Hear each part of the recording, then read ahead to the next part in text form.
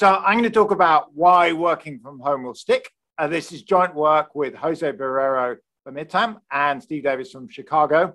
Uh, you know, the question is why are we interested in this? Well, I've personally been working on working from home, going back to a survey. The first survey I ever did on it was in 2004. So it's been a long interest. And, you know, not many people are very interested in working from home. But as you can imagine, that all changed pretty rapidly in March of 2020. So since March of 2020, over the last kind of almost a year and a half, I've been collecting a huge amount of data, which I'll talk through today, but also talk to more than 100 plus organizations, a lot of firms, but hospitals, uh, judiciary, uh, you know, Palo Alto, my local city council, a research lab, all kinds of stuff. So I'll go through in the next 10 minutes kind of what we know on working from home and why it will stick. So firstly, today, what I'm going to talk about is uh, basically evidence based on a survey of 5,000 Americans we've been surveying per month going back to May of last year. So initially we did two and a half thousand a month, but in the last few months we've been doing 5,000. It's an online survey, it takes about 10 minutes. We pay people to do it. It's pretty straightforward. It's a bunch of questions. You can see some examples here. How often are you working from home? Demographics, what do you see the future doing? What's your firm told you? We take that and re- reweight it to match the American population at age 20 to 64. So you can think of this in a sense as a, as a survey of working age Americans, the US labor force.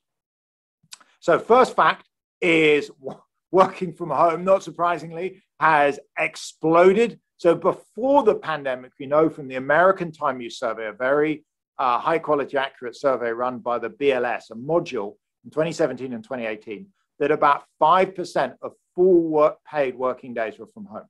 So one in 20 working days in the US before the pandemic were at home, 19 out of 20 times people commuted to their business premises. During the pandemic, that has gone up tenfold so 50% of people, or sorry, 50% of working days are from home. That generally came about primarily from about half of people working 100% of days. Me, probably most people listening to this, I suspect, were full time working from home since these are primarily at university graduates. And then 50% of Americans were either not working or um, were working on the business premises. And then finally, post pandemic, we see this is going to drop to about 20%. So post pandemic, about 20% of days are going to be worked uh, from home and about 80% from the business premises. You can think about this in a very simple way, which is roughly half of Americans can't work from home. So they tend to be people in more frontline uh, service jobs, manufacturing, healthcare, people who need to work with customers, work with equipment, have to go in to the business premises. They've been doing that for the last year uh, if they've kept their jobs, and they are going to continue working on the business premises every day into the future. The other half of the US labor force, typically college grads tend to typically have higher pay jobs, they're managers, they're professionals, they're more senior jobs. They can typically work remotely. During the pandemic, they have been working remotely five days a week. That's the 50% number that's been running. It still is kind of now, it's about to end post pandemic, the average plan they've been told is they're going to be working from home two days a week, coming to the office three days a week. So this this has been called the hybrid mode. You've probably heard all about. Well, this is by far the most common plan.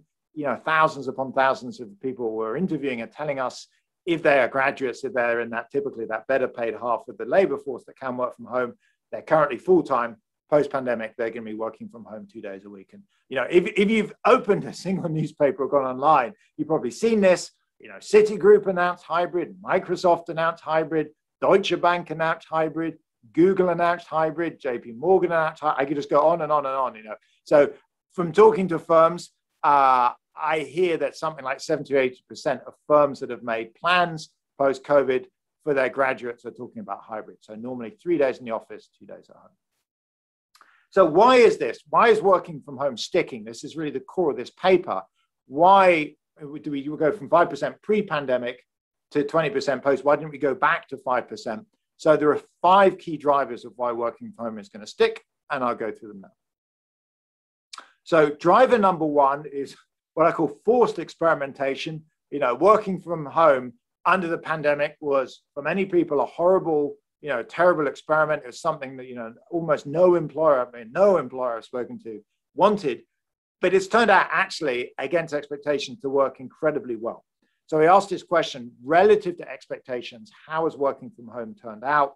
We've shortened the answers, but they're in terms of efficiency, which you can think of, you know, as a kind of layman's term for productivity. Uh, you can see that the overwhelming majority of respondents to the survey, so over 60%, report it's more efficient than expected, and a little over 10% reported less efficient than expected. I have run similar surveys of firms, and you get a similar story. So you know, against expectations. I don't know about people listening have the same view, but certainly for me, I wouldn't say it's perfect. You know, I prefer being in the office at least, you know, three days a week and seeing my colleagues. I miss my colleagues, but you know, it's a lot better than I thought it would have been at least working from home. And so it's turned out it isn't as bad as people thought. And as a result, a lot of people are going to stick with this. You know, driver two for sticking is that there's been a massive investment in uh, equipment and time think of it as intangible capital in terms of working from home. So in our survey, I asked two questions. First, on how many hours you've invested in learning to work from home effectively. So thinking, you know, me personally, like how I figuring out all the little buttons and extras on Zoom, on Teams, on GoToMeetings, on WebEx, you know, all the different stuff that people are using. Uh, getting my you know office set up behind me. I don't know if you can see, but there are you know, pictures on the wall that didn't used to be there. I, you know, but also spending money. I bought a proper uh, you know, a, a microphone and a webcam because the laptop I'm using didn't, I mean, it was pretty awful. Uh, I actually bought a desk that lowers and raises to find it easier to stand up at times. I bought a swivelly off, you know, et cetera, et cetera. So it turns out that on average, Americans have spent about 1.2% of GDP in terms of expenditure and time getting themselves able to work from home. That's obviously a lot of money. That's on the household side. We can also look at the firm side.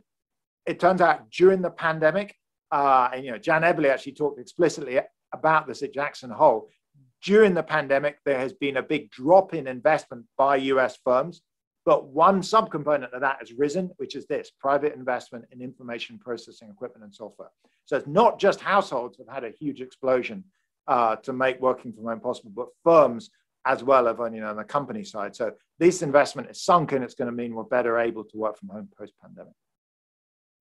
Fact three there has been a massive reduction in negative stigma around working from home.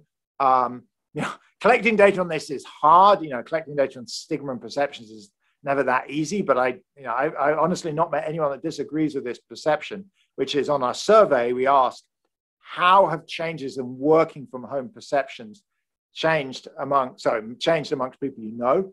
And again, you can see something like 60% have said they've improved about 30% have said they've stayed the same, and about 10% said they've got worse. So again, the overwhelming majority of people claim, you know, you, when I used to work on working from home, going back to 2004, people would talk about working from home, shirking from home, or they'd say, you know, working remotely, remotely working. It was seen as very negative.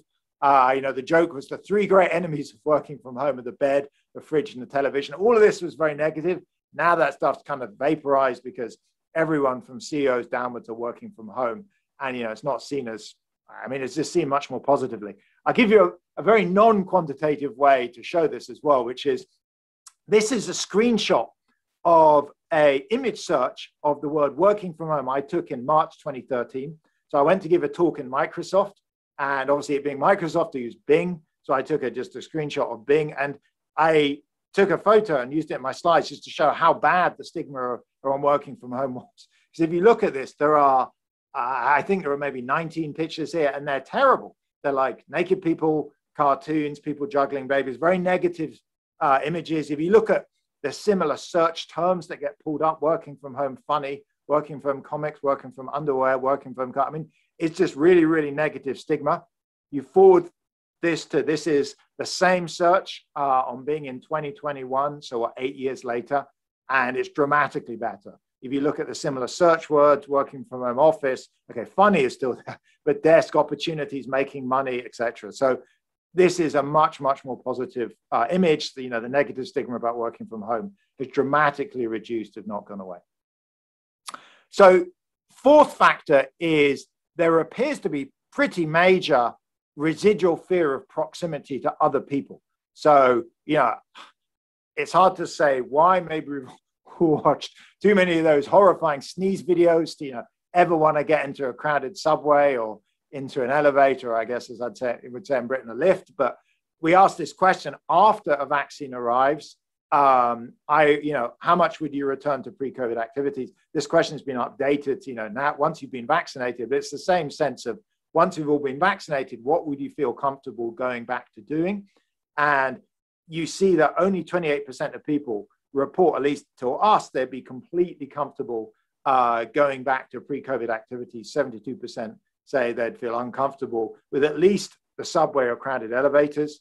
You know, interestingly enough, I've done a lot of you know exec ed on this. I gave uh, um, you know for Markus's uh, seminar in, at Princeton. Used this question and polled on his Zoom and exec ed.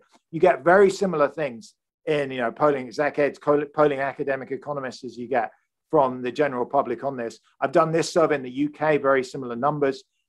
You may think that people a year or two from now forget about this. It's quite possible. So these, you know, people may be hyped up now. They may kind of move on.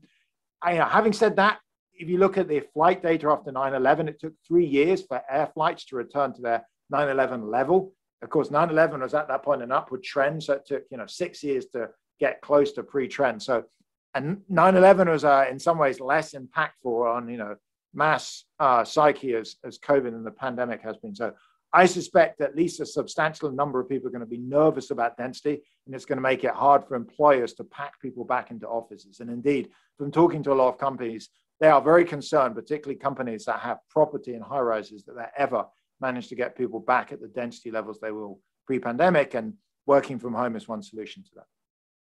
Then finally um, redirected technical change. There's a very long history in economics about how technology, you know, has changes in the rate and direction. There's a whole program in the productivity and innovation entrepreneurship program on the rate and direction of technology. Here's a great example of this, which is the pandemic has tilted technological innovation increasingly towards working from home. So with uh, Steve Davis and Yulia Zhestkova, we have a, another paper that looks at the share of patent applications that mention remote working. And you can see, of course, after the pandemic starts, this thing starts going up. Maybe, you know, it starts in February, but of course, the lockdown happened in uh, China at the end of the year before. As we updated the data, you can see this thing going up and up. Again, it's not surprising. I've talked to a large number of tech firms, and they are throwing enormous amounts of money. In fact, talking to, you know, hardware firms, talk to Logitech, talk to um, Intel, etc. They're throwing enormous amounts of money at technologies that are going to facilitate working from home because, of course, the market is dramatically increased. So going from five to 20%, your market's gone up 4x, investments exploded, and therefore it makes more sense for firms to invest in it. As a result, working from home 10, 20 years from now is going to be way better and way easier than it was 20 years ago. So if I think back to when I first started working on this in 2004. There was no video conferencing on the internet. Skype was 2003. It was still pretty rudimentary. There was no file sharing. There was no cloud. Dropbox, the cloud were kind of late 2000s. So that was a very different era. Already, uh, you know, now we you know, communicate by video conferences. We share files. We share presentations all the time. You know, 10, 20 years from now, I assume technology is going to improve further. Maybe there'll be fantastic virtual reality. You know, it's hard to say what it will be, but working from home will become increasingly similar to our thinking presence work. So, what about the implications for society? They're mostly good. They're two good things, and one thing I kind of worry about. Good news one is uh, post pandemic hybrid is going to be beneficial to most employees. So, I mentioned that most firms, particularly for graduates, are planning to have people work from home on average two days a week, come into the office three days a week. We asked people what they thought of that, and the, you know the bottom answer is most people like that. Most, you know, pretty much everyone likes that better than, you know, five days a week in the office.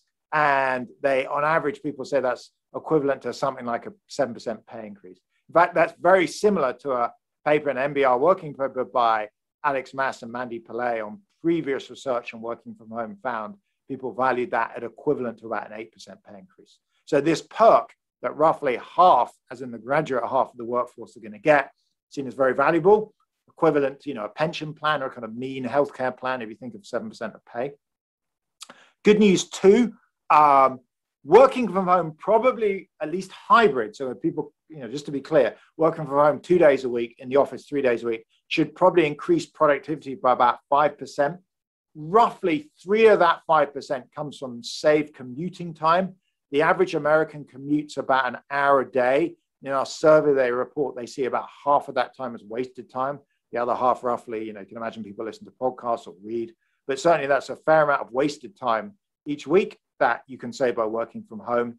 The other 2% comes from, you know, this is evidence going back over, you know, work I've done before in previous NBER work actually on, on a randomized control trial out in China, that it is quieter working from home. It turns out working from home, once the kids have gone back to school, uh, on average is more efficient because it's quieter. What about the bad news? I think the one piece of bad news for me is it could raise equity concerns. So what I've done here is I've plotted again from our from our NBER paper with Barrero and Davis. On the y-axis is the number of paid days post-COVID, and on the x-axis annual earnings. And the black circles here are what employees want. So what they tell us they'd like. You've noticed pretty much everyone wants to work from home on average for about two to two and a half days a week. Some people want more, somewhat less, but by income level, it averages out pretty flat at about two. In terms of what they say their employers are going to give them is very upward sloping. So folks down here, they're low paid. They tend to be frontline jobs. They tend to be, you know, face to face. The tasks they do. I mean, this is relate, very much related to Dingel and Neiman's work. You have to go into the off. You have to go into the factory or the shop to be there. So you can't really work from home. If you look at high end folks, you know, high paid grads, managers, professionals, they tend to be able to work from home. And so their employers have said, you know, you guys on average, you, you are going to get to work from home two days a week. So in a sense, this is a perk but it does raise an equity issue because the very group that's had the worst pandemic, those that had to come into the workplace throughout the last year because they have to be there, you know, lower paid workers, are post pandemic also not going to get this nice perk. The higher paid university graduates are. And, you know, from talking to firms, this comes up all the time as an equity issue and a managerial issue. And I think it's also an, an important political issue. So to conclude, um, working from home, you know, it's gone from 5% pre pandemic, pretty low. In fact, only 15% of people ever work from home pre pandemic. So it's not only low, it's rare.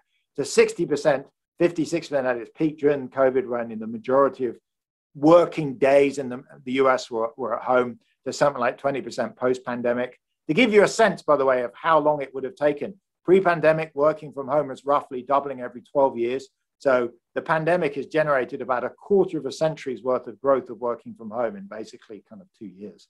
Um, you know, there are a number of mechanisms behind the shift. I think, it, you know, as we say, again, it's partly stick. I think it has huge positive implications for work and productivity, but I do worry about the kind of equity implications of this. With that, I'll stop and say if you're interested in further details, uh, it's in the NBER working paper. Thank you for listening.